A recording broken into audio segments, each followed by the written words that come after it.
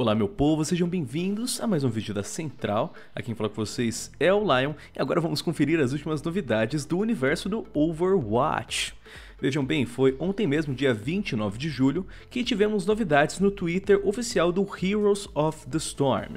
Foi o anúncio de um novo set de skins da organização uh, terrorista Viper, que agora vai estar chegando no Heroes of the Storm e vai estar trazendo skins novas para alguns personagens que a gente já conhece e ama muito do Overwatch, que são o novo set de skins Viper para Ana e para o Genji.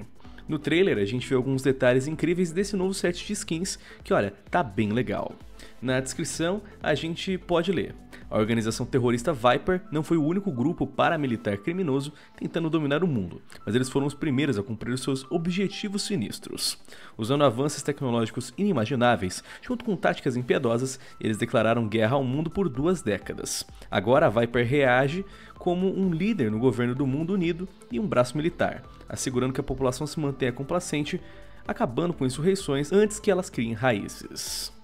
Bem, Uh, esse daqui seria uma continuação da lore do Heroes of the Storm, que vai estar tá trazendo esse novo set de skins, né? Esse que parece uma organização terrorista que remete bastante, né, a Talon, né, para você que já está inteirado no universo do Overwatch. E essa novidade está chegando aí no Heroes of the Storm.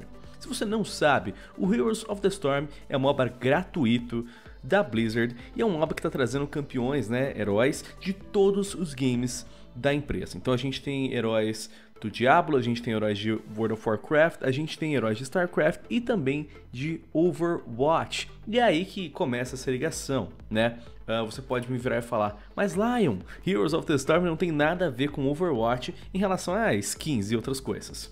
Bem, é aí que a gente se engana, porque a gente já teve aquelas skins do evento de verão que vieram também para o Heroes of the Storm. A gente teve a Tracer com uh, pistolas d'água e também nós tivemos o evento dos jogos de verão trazendo skins bem semelhantes no Overwatch. Então a proposta aqui é, se a, o Genji e a Ana estão recebendo essas skins no Heroes of the Storm, será que a gente poderia estar esperando algumas skins semelhantes para outros heróis do Overwatch chegando no game base no futuro?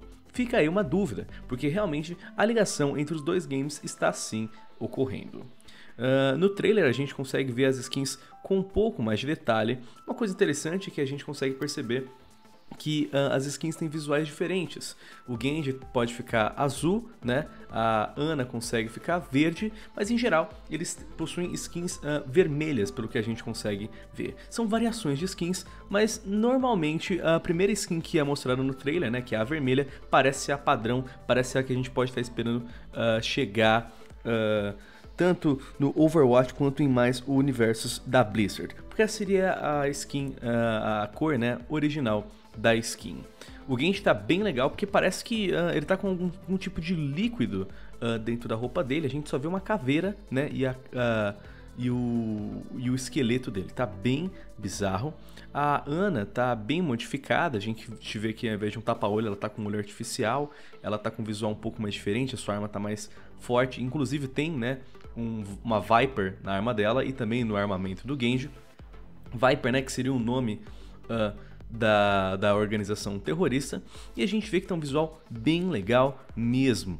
Uh, a questão é, será que isso estaria chegando no Overwatch algum dia? E se não fosse uh, com Ana e com Genji, quais seriam os heróis? Seriam os heróis da Talon? Será que a Talon seria o começo da formação da Viper?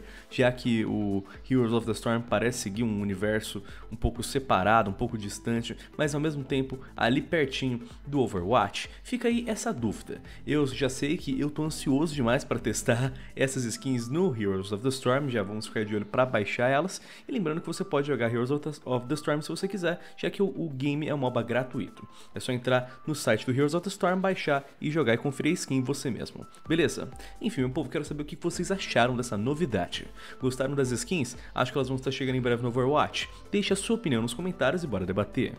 Enfim, galera, que falou com vocês foi o Lion. Muito obrigado pela sua atenção. Espero que vocês tenham um ótimo dia e uma boa sorte nos campos de batalha. Até mais.